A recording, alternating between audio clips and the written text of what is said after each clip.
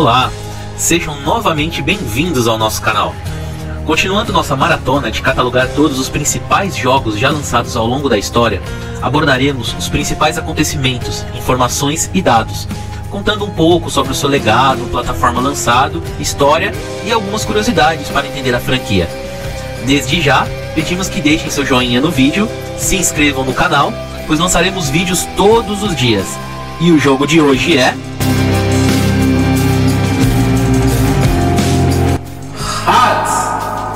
lançado mundialmente em 17 de setembro de 2020 para Switch e PC.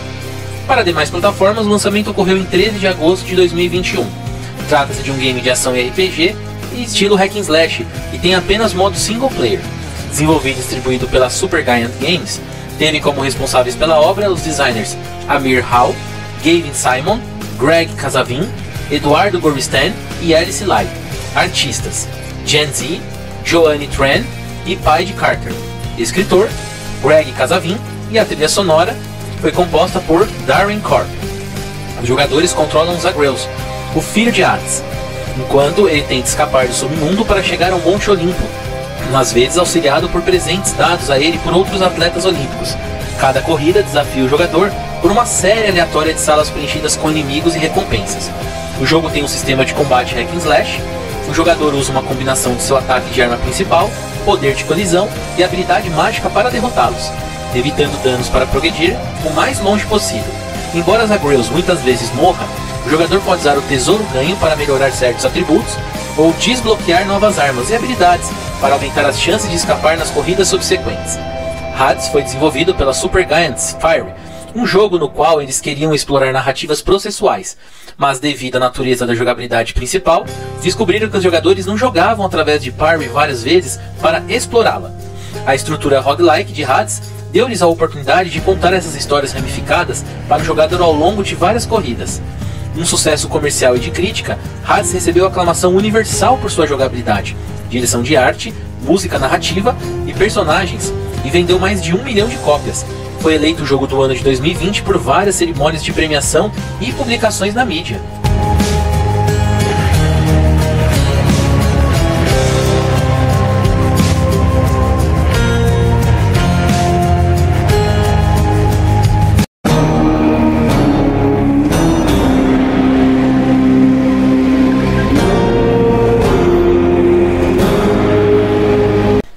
Zagreus, o filho de Hades, tenta escapar do reino de seu pai no submundo.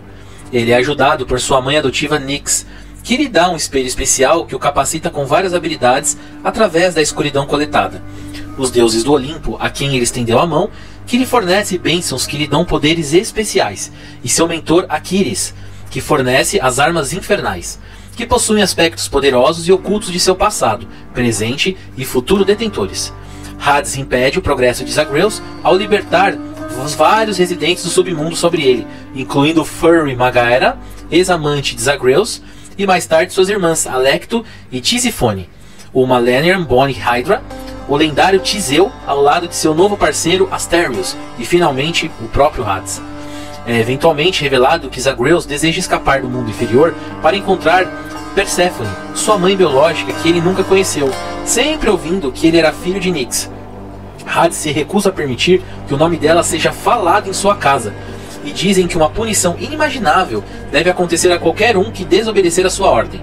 Nyx, por outro lado, decide ajudar Zagreus a descobrir a verdade sobre sua verdadeira mãe, por si mesmo, colocando-o em contato com seus parentes no Olimpo.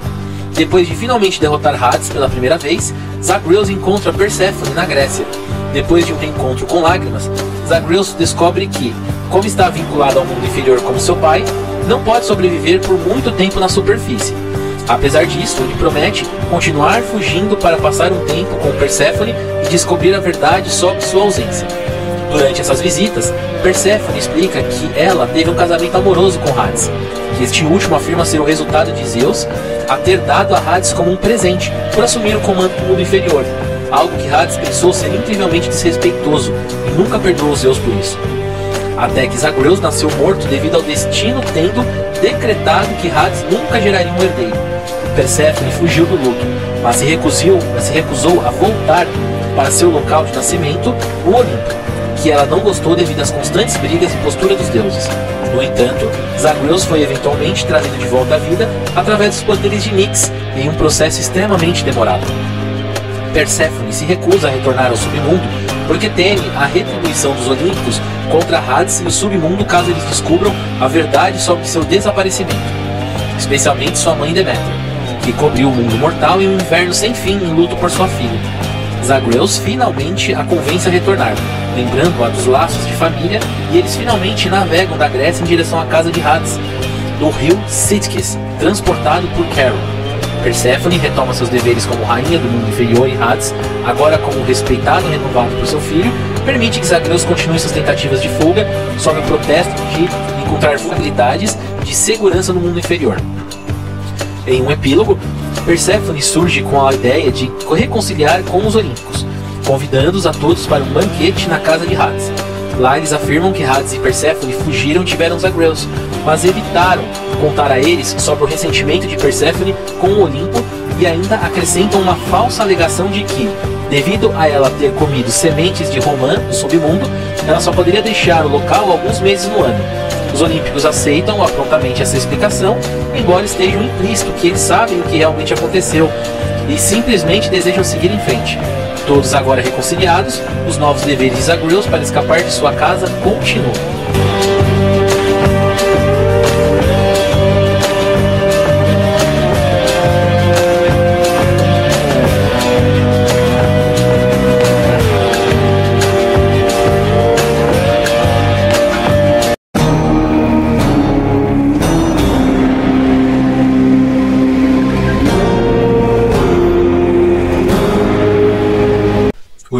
Assume o papel de Zagreus, o príncipe do submundo, que está tentando escapar do reino para fugir de seu pai desapaixonado, Hades, e chegar ao Monte Olimpo.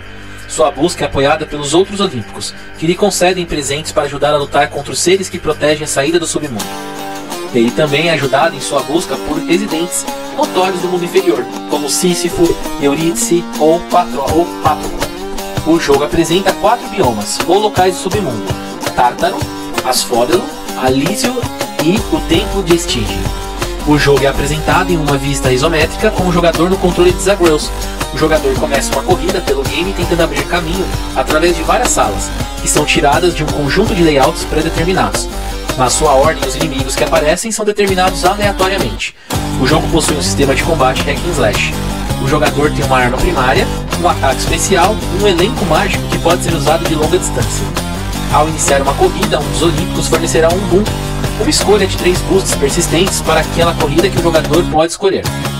As bênçãos têm como tema o Olimpo, por exemplo, com Zeus proporcionando efeitos de dano por raio. Posteriormente, depois de limpar uma sala, o jogador verá o tipo de recompensa que ele pode ganhar se completar a próxima sala ou a escolha das próximas salas. Variante de dádivas olímpicas adicionais, atualizações de armas, itens restauradores, Ogons para gastar no Cheryl's loja ou itens que podem ser usados no metajogo do submundo que afetam futuras execuções.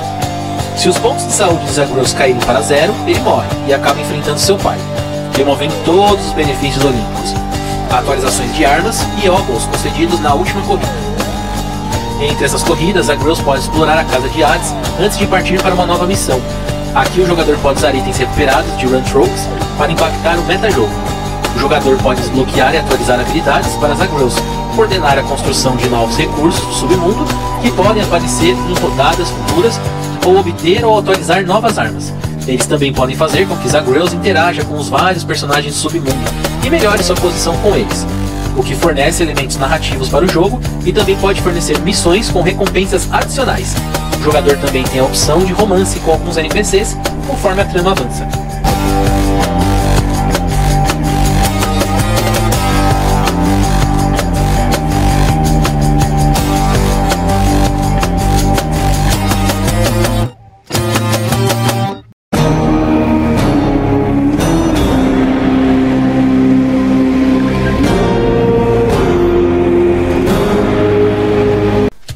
Após o lançamento de seu jogo anterior, Pyre, a Super Giant Games estava interessada em desenvolver um game que ajudasse a abrir seu processo de desenvolvimento para os jogadores, para que eles acabassem fazendo o melhor jogo possível com o feedback dos jogadores. Eles reconheceram que isso não só ajudaria com a abordagem de jogo, mas também com elementos narrativos, e assim optaram por usar a abordagem de acesso antecipado no desenvolvimento de Hades, uma vez que estabeleceram a base do game. Como a Supergiant ainda era uma equipe pequena de cerca de 20 funcionários, eles sabiam que só poderiam suportar o acesso antecipado em uma plataforma, com a intenção de portar para as demais perto da conclusão do jogo. A empresa tinha falado com a Epic Games sobre sua intenção de lançar na Epic Games Store e sentiu que a plataforma experimental era uma combinação apropriada com o Hades. A decisão da Supergiant foi tomada em parte devido ao foco da Epic nos criadores de conteúdo, já que a Supergiant desenvolveu Hades em mente para ser um jogo favorável aos streamers, que seriam beneficiados por meio da Epic Games Store. A Supergiant antecipou que Hades levaria cerca de 3 anos para ser concluído, comparável ao tempo de desenvolvimento de seus títulos anteriores. Em termos de narrativa e abordagem do jogo, a equipe havia discutido que tipo de jogo eles queriam fazer e seguir estabelecendo em um conceito que seria fácil de aprender e jogar, que poderia ser jogado em períodos muito curtos e oportunidades para expandir após o lançamento, levando-os a um jogo de hack and slash, que geralmente utilizou melhor a abordagem em acesso antecipado. Também se encaixa em seus objetivos de design e de jogabilidade anteriores, onde eles pretendiam continuar a adicionar novos truques ou ferramentas para o jogador que os faria reconsiderar como eles estavam jogando o game até aquele ponto. Para o cenário, eles consideraram revisitar os mundos de seus jogos anteriores, mas sentiu que um cenário totalmente novo seria melhor. O diretor criativo da Supergiant, Greg Casavin, teve a ideia da mitologia grega, um tópico pelo qual ele se interessava desde a juventude. Originalmente foi planejado o nome do jogo Minos, com o herói Teseu como personagem do jogador que buscava uma saída dos labirintos em constantes mudanças de Minos. Os labirintos apoiaram prontamente as facetas, mas a empresa achou difícil incorporar os fatores narrativos ramificados. Eles também descobriram que Teseu era um personagem muito genérico para caber em sua narrativa. Durante uma pausa no trabalho, Casavin pesquisou mais sobre os mitos gregos e descobriu que Hades estava subrepresentado nessas histórias, pois os olímpicos o temiam essa descoberta levou Casavin a ter o jogo centrado na tentativa de Zagreus de escapar de Hades e do submundo com uma abordagem narrativa mais interessante. Casavin comparou os deuses a uma grande família disfuncional em que podemos nos ver, e que, por ter Zagreus repetidamente tentando e não conseguir escapar de Hades, isso proporcionaria o tipo de comédia pastelão que ele sentiu e capturou os relacionamentos nesta família, bem como a experiência do jogador tipicamente associada aos hack and slashes, onde num momento o jogador pode se sentir invencível apenas para ser rapidamente derrotado e trazido de volta ao início do momento seguinte. A mudança de Teseu para Zagreus teve um impacto mínimo no conteúdo do jogo que eles desenvolveram até aquele ponto e ajudou a estabelecer a conexão do jogo com a narrativa. Teseu permaneceu no jogo, mas seu papel se tornou o de um personagem chefe, transformando-o em um vilão orgulhoso, junto com um parceiro de dupla de Asterios, o Minotauro. A narrativa do deus grego também informava facilmente os benefícios que o jogador obtém à medida que progride no game, representando os diferentes poderes dos deuses e vários elementos de jogabilidade, como Trials of the Gods, enfatizando a relação estável que os deuses tinham uns com os outros. Esses bits de diálogo são avançados a cada execução do jogo, tornando cada tentativa de fuga significativa em comparação com os hack slash tradicionais, que a Super Giant acredita que ajudaria a atrair mais jogadores para o game. Em contraste com Bastion e Transistor, que eram jogos mais lineares e portanto tinham mais controle sobre como o jogador progredia, Hades apresentou o desafio de escrever diálogos para a infinidade de rotas que o jogador poderia progredir no game. Casavin e seus escritores elaboram cerca de 10 horas de diálogo entre Zagreus e os personagens NPCs, com base em um grande número de eventos encadeados em potencial que podem acontecer ao jogador. Por exemplo, durante uma corrida, o jogador pode encontrar Eurídice e, ao retornar ao reino principal após falhar na corrida, encontrar Orfeu, marido de Eurídice, que por causa da reunião anterior, pede ao jogador para entregar uma mensagem a Eurídice no próximo, na próxima vez que eles vêm se encontrarem. Esses eventos de diálogo também se relacionam com melhorias da Hub, uma vez que o jogador viu através da cadeia de eventos. A Super Giant manteve o compromisso de honrar a mitologia grega ao longo do jogo. A arte do game, principalmente da artista interna Chen Zi, mostra todos os atletas olímpicos como atraentes, como uma imagem em homenagem de bom gosto à nudez heróica da arte grega antiga, de acordo com Casavin. O jogo também explora a sexualidade diversa que estava implícita nos mitos gregos. Zagreus é bissexual, enquanto uma narrativa lateral explora a relação gay entre Aquiles e Patroclo. Durante o processo de desenvolvimento de Hades, a equipe decidiu reescrever seu mecanismo de jogo personalizado para fornecer melhor desempenho de jogo e melhor suporte para várias plataformas. Seu mecanismo original, que foi escrito em C Sharp, e usava o framework Microsoft XNA, foi usado pelo estúdio para todos os seus jogos desde Bastion. Ao fazer Hades, a Supergiant decidiu reescrever seu mecanismo usando C para fornecer o desempenho aprimorado que o código nativo fornece.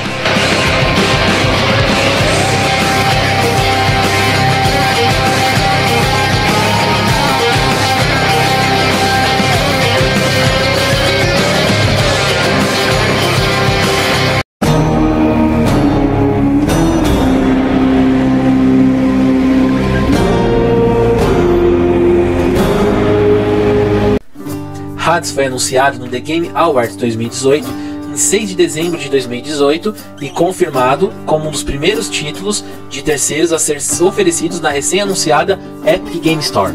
De acordo com Geoff Keighley, o anfitrião e organizador do programa Game Awards, Amir Hall e Greg Casavin da Supergiant abordaram na DC Summit 2018, em fevereiro, sobre Hades e sua intenção de lançá-lo como um título de acesso antecipado no mesmo dia do Games Awards. Hades era exclusivo na Epic Games Store, sendo lançado posteriormente para o Steam em 10 de dezembro de 2019. A Supergiant lançou oficialmente o jogo fora do acesso antecipado em 17 de setembro de 2020, coincidindo com o lançamento do Switch. Embora o salvamento cross-plataforma entre a versão Windows e Switch tenha sido planejado naquele ponto, a equipe teve que adiar até um patch que foi lançado em dezembro de 2020, com salvamento cruzado habilitado através das plataformas da conta Epic Games Store. Uma versão física de no Nintendo Switch foi lançada em 19 de março de 2021. Ports para PlayStation 4, PlayStation 5, Xbox One, Xbox Series X e S foram lançadas em 13 de agosto de 2021.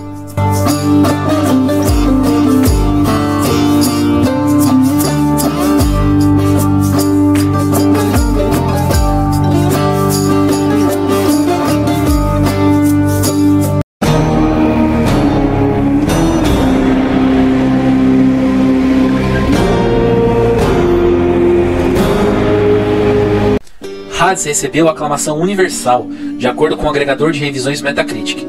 Durante seu acesso inicial de quase dois anos, Hades vendeu 700 mil cópias. Três dias depois de seu lançamento oficial, vendeu mais 300 mil cópias, com vendas totais de mais de um milhão. Em particular, os críticos elogiaram Hades por sua história, personagens, jogabilidade e trilha sonora.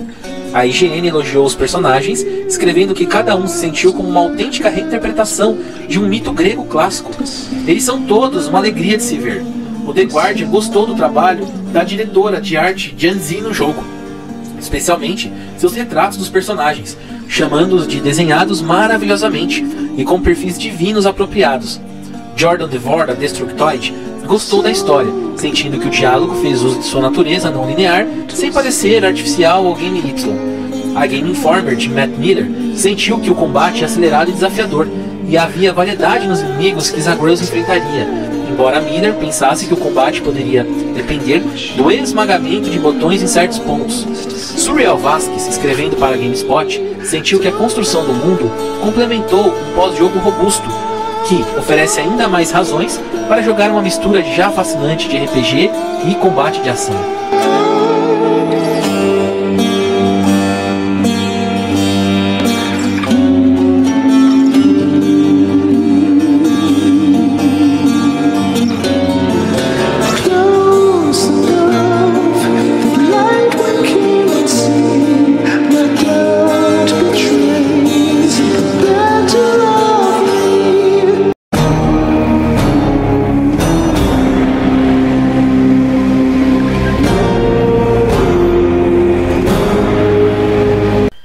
Hades ganhou vários prêmios e homenagens. No décimo, anual acompanhamento das vendas de seu console preferido, calendário de lançamentos dos próximos jogos e notas de games já lançados. Há matérias especiais também sobre cronologia dos consoles, história das empresas e vídeos sobre curiosidades e detonados de jogos. Ah, e não se esqueçam também de visitar a nossa loja virtual. Temos um vasto estoque de produtos tematizados para decoração, como canecas, quadros, camisetas, peças de bits montadas para colar em paredes, imãs, chaveiros, peças de enfeites e muito mais. Desejamos a todos um forte abraço e nos vemos no próximo vídeo.